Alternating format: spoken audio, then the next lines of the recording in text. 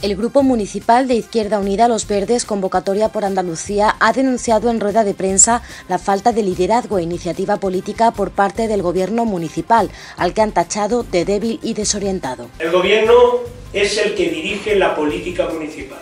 El Gobierno es el que tiene que tener la iniciativa y el que tiene que liderar la actividad política municipal. Hasta ahora nos hemos encontrado con un Gobierno débil, un gobierno que no eh, está teniendo la capacidad de hacer propuestas y por tanto eh, algo eh, desorientado. Asimismo, han criticado que el equipo de gobierno, ante la dificultad de que salgan algunas propuestas hacia adelante, pretenda sumar voluntades para que la iniciativa definitiva parezca que ha sido suya propia.